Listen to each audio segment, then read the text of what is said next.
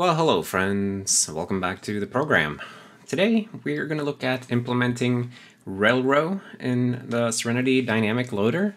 And uh, Relro is basically a, a way to um, protect some parts of a program's um, memory at runtime uh, once we have populated it. And it's specifically about the um, location of randomized library functions. So uh, since we started using ASLR in Serenity uh, and dynamic libraries, um, when we load a program and, and run it, uh, we have to populate this big table of like where is printf, where is um, this library call, that library call, stuff like that, right? Uh, and all of that stuff goes into this big table um, in the process address space called the global offset table or the GOT. And currently, the GOT is um, just part of every process's data segment. So if we look at, for example, the process map for this terminal right here, then the GOT is just in here somewhere in the um, uh, data segment. And as you can see, it is writable.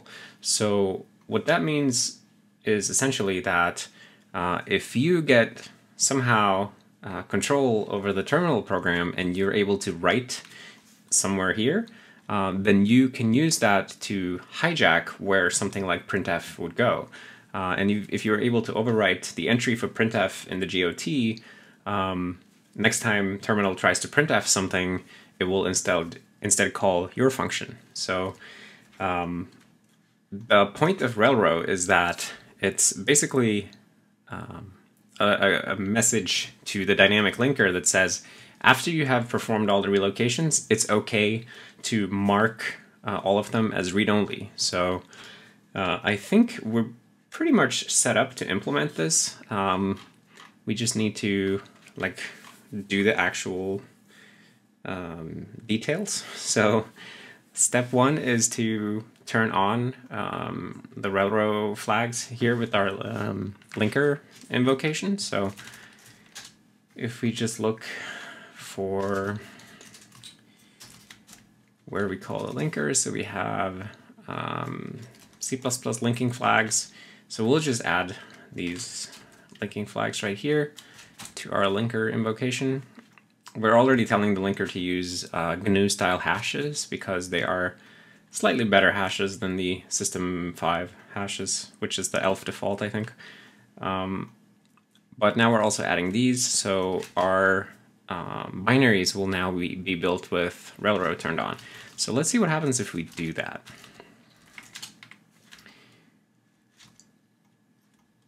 So yeah, so it's just a matter of relinking everything, right? And if we look at, for example, uh, the browser, then we can see that now we have a GNU Relro uh, program header in this ELF. So of course, if we try to boot now, uh, it will choke because we don't handle these headers. So we're choking at um, trying to trying to start up the system server. And then we have an assertion in the dynamic loader.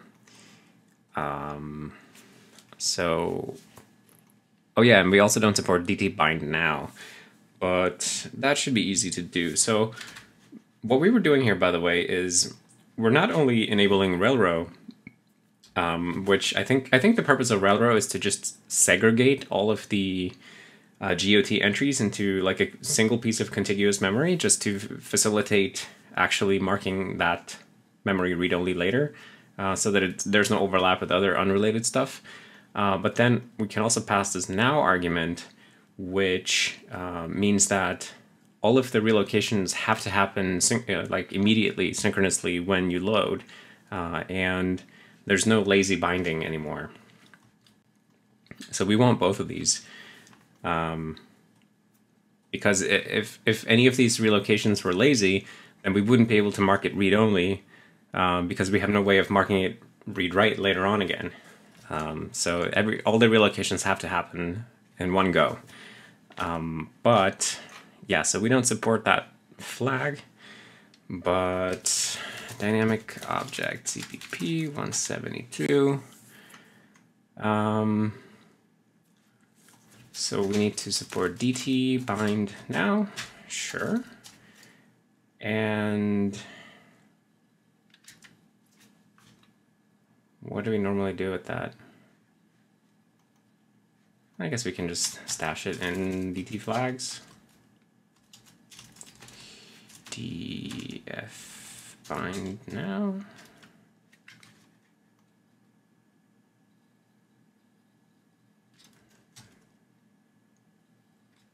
All right. Let's see what happens if we just do that.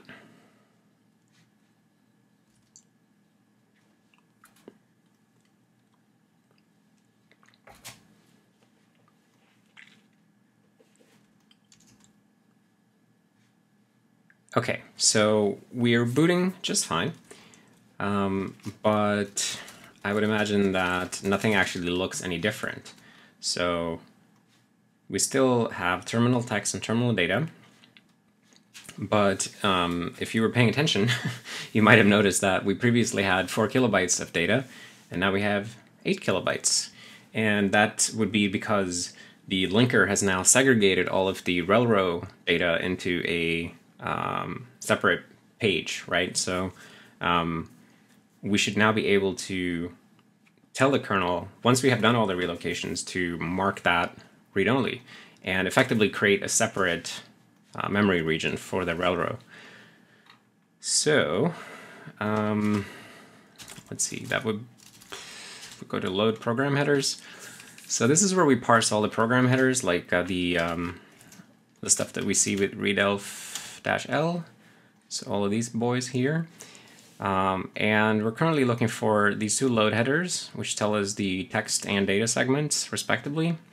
Um, and we're also looking for TLS, but I guess we can just add another one here. So like region is Relro, doesn't exist. Um, so we will just add it. Yeah, there we go. And if it is the Relro header, then let's remember this region. So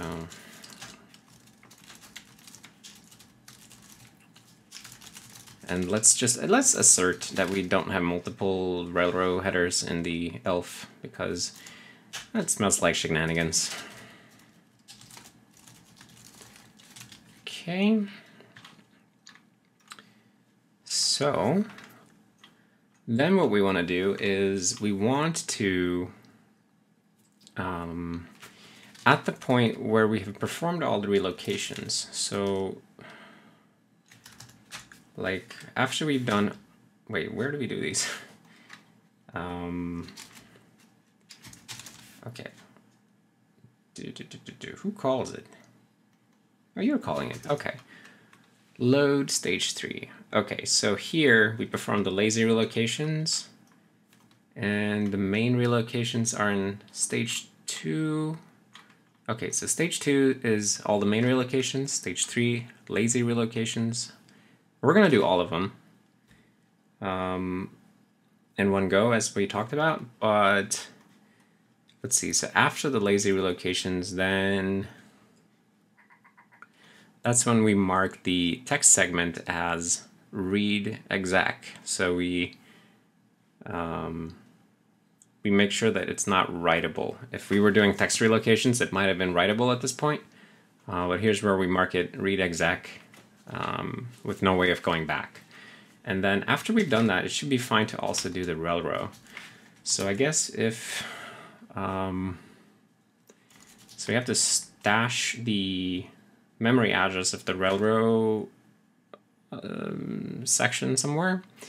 So Relro uh, segment size. So if we have a Relro segment, then uh, Relro segment address.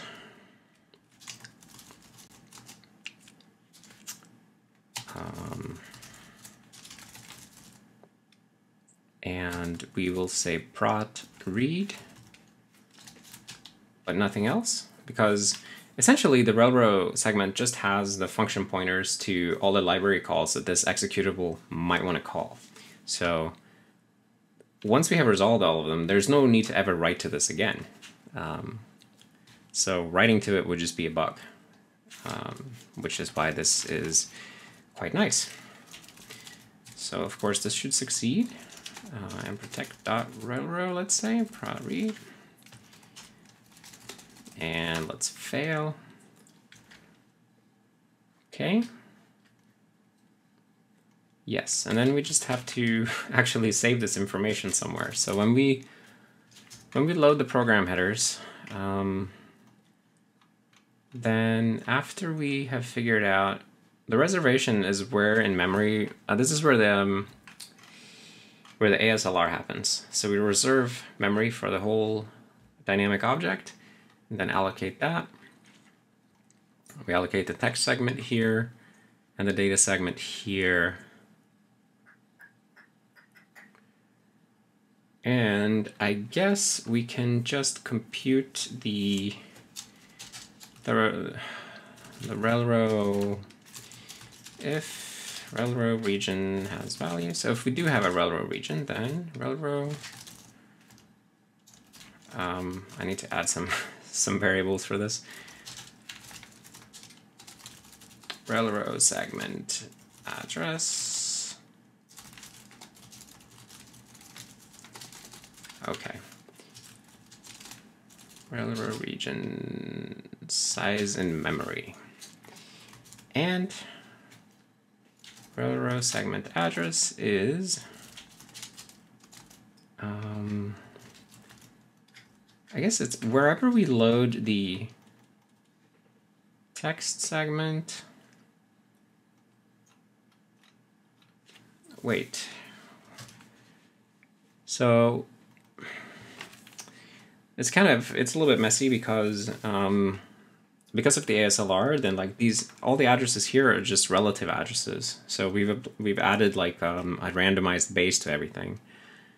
Um, but if we look at the text segment, which is at the virtual zero, and then we just have to find the virtual address uh, of the relro segment relative to the text segment. So the uh, relro base would be the um, wait wait wait wait. Um, relro region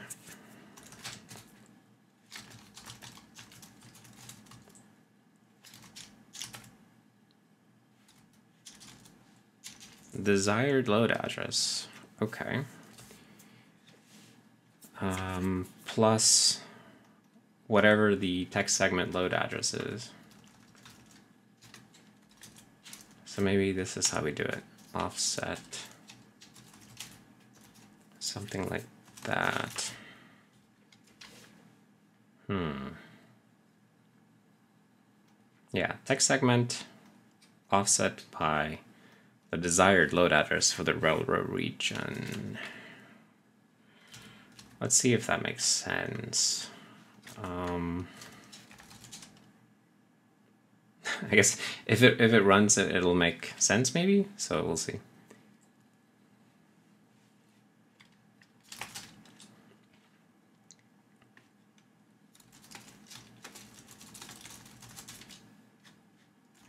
Okay. Cool, look at that. So now we have uh, the terminal data segment has been split into two parts here, as you can see. So the first part is now read-only, and uh, the second part is read-write. So only the first part of the data segment was relro, and actually we could even could even update the name of that segment just to um, just to make it clear in the process memory map output. If we say here something like um,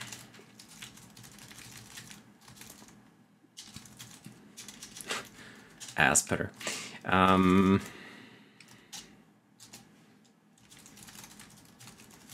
we would do like the relro. And if that fails, pair set mf name yeah, something like that. I don't know. Yeah, I mean, if it fails, it fails. So we should be nice. And, oh, and of course this has to be able to compile on other systems as well for some reason. I still don't know why we're building the dynamic loader on other systems, but we are. And I guess that's a regular C string. Um, and also my parens are not lined up correctly.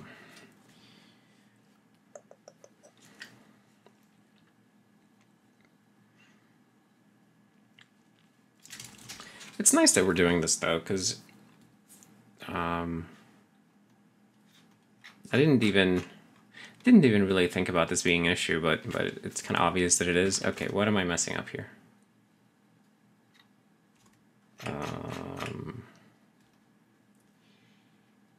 Wait, what?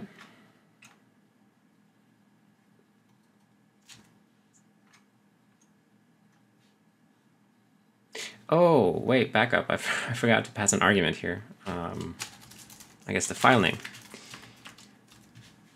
Yeah, this is annoying, by the way, that uh, CLion doesn't realize that I'm building for Serenity. It's something with our CMake, uh, CMake list files that it doesn't understand. Um, I haven't looked into that yet. All in all, though, like I'm super happy with um, with this CLion IDE so far. Um, and it keeps giving me these tips about things. Like I see these little squiggly lines, right? And then it tells me here something like some clang tidy warning. And very often these little suggestions are pretty relevant. So like here, like why don't you make a const reference here instead? And you look at it and it's like, hmm, well, this is a little bit of a semi-chunky object, right? To be passing by value like that. Um, so, but I, I still didn't, I still didn't just do that thing where like I go and uh, I just um, fix everything that the IDE warns about just to get a clean, um, clean looking warningless state. Although it is tempting. Also, now I think I built twice, I don't even know why. Got sidetracked. Let's look again, and there we are. Cool. So now we can even identify the relro um, segment here. Uh, very, very cool. So that's awesome. And I think um, I think today we're just going to do this for main executables. Um, not we're not going to do relro in shared libraries. So um, because I'm a little bit low on time, but still, this is good progress. So let's go ahead and commit. Um, um,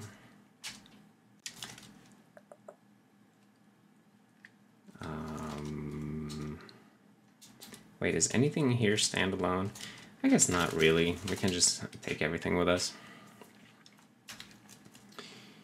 Uh, libelf. plus everywhere, or userland.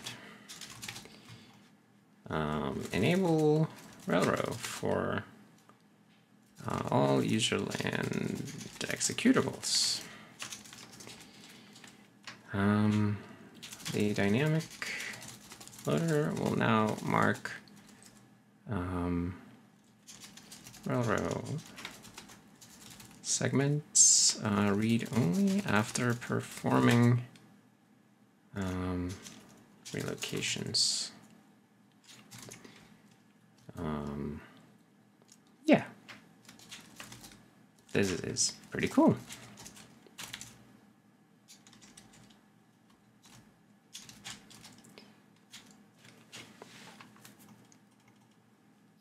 Very, very cool. Hmm. Actually, I wonder... wonder what would happen if we would enable it for um, shared libraries as well. If we just go here and be like,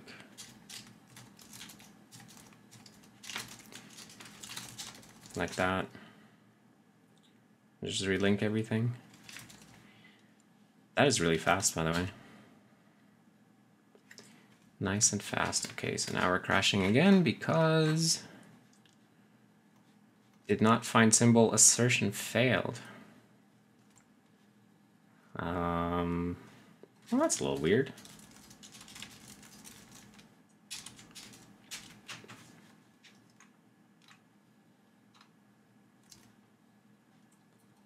So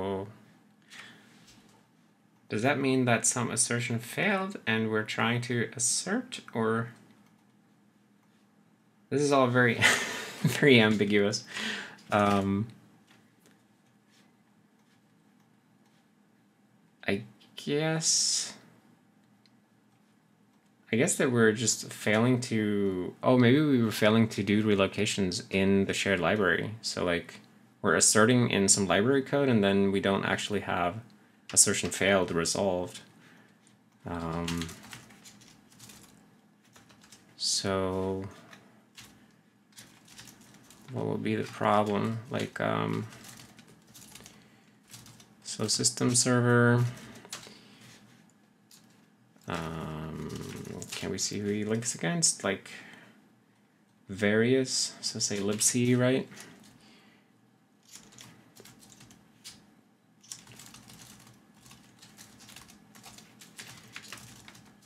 And now C has GNU Relro as well. I would assume that would be fine though. So does everybody get a rail GNU Relro? Sure. libjs.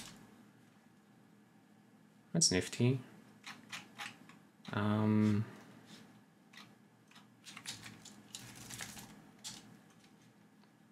Hmm.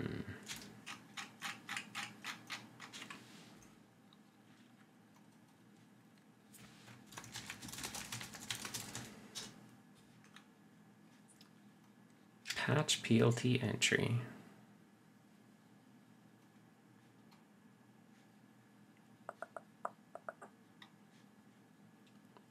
Hmm, okay, let's turn on some debug information here.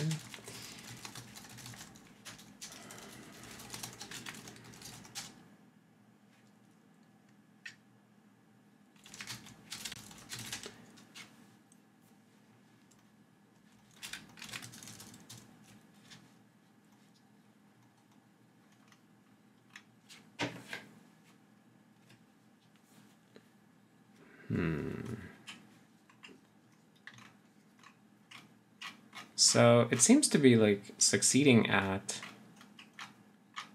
various relocations and then it fails for this specific one, for this specific relocation.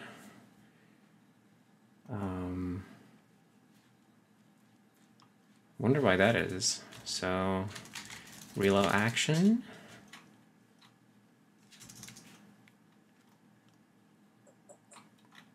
Are we being too eager here? Like, do we not have all the things in memory yet or something?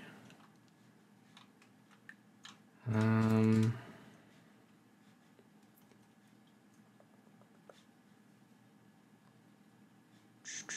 Eagerly buy now the PLT entries. Yeah, that's what we're doing. So Patch PLT entry would fail if we can't look up the symbol.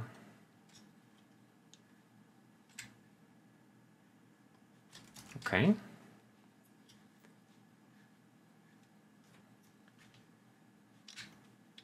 And I would assume this would be a global symbol.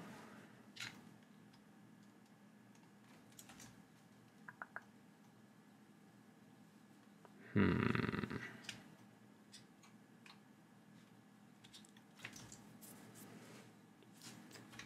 Interesting. And assertion failed would be in libc.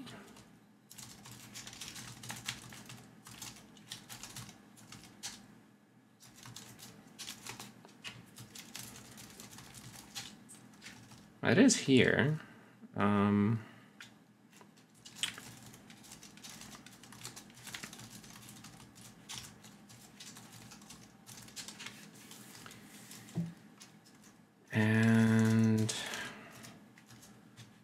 some way to get the symbols, dash dash symbols, right?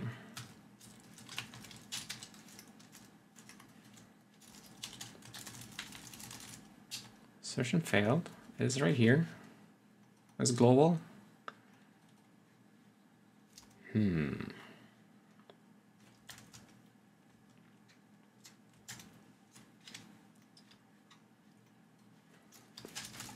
Let's do a little bit of logging here. Looking for symbol mm -hmm, in mm -hmm.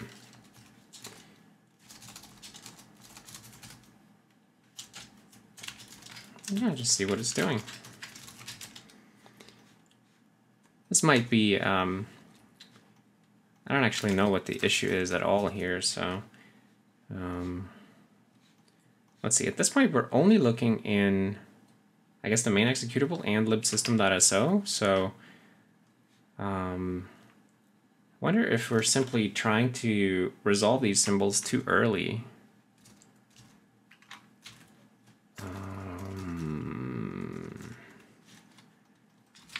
Could it be that it's just too early?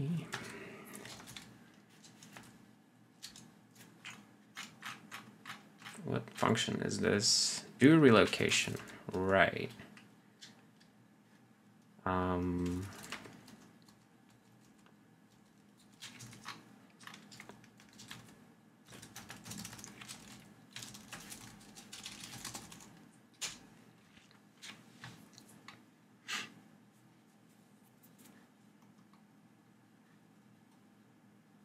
Hmm. Wait, let me just verify that we didn't find sad face. Um,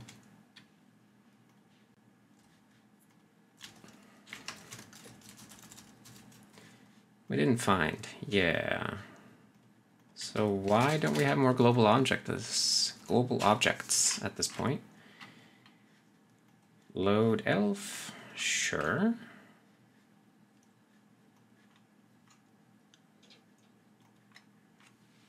Hmm. Oh, wait. libsystem is probably has an assertion in it. Or somebody has an assertion in it, and we don't know about libc yet. Yeah, okay, so this is probably like a big ordering issue here in the way the dynamic loader works. Uh, and we need to reorganize things so that we load everything and have all the symbols available so we can see them. Um, global objects. Because we don't put things in there until after we've linked them. Okay. Yeah, this this will probably take uh, a bit of work to reorganize this and get it right. So I'm not gonna I'm not gonna do that now because I don't have time to um, don't have time to get into this bigger task. But uh, at least at least we know that um, that's probably what it is. So leaving something for the future, um, as we always do, because there's infinity things to do. But uh, I think uh, just getting the executables was a good thing to get done today. So I think we're going to end the video here. Uh, let's try on some other program like browser. of browser. And where is the browser? Here, look at him. 8 kilobytes of Relro. Very cool. Yeah, so that'll be it for today. Thank you very much for checking out the video. I hope that you saw something interesting. Um, and I guess I hope to see you next time. Bye.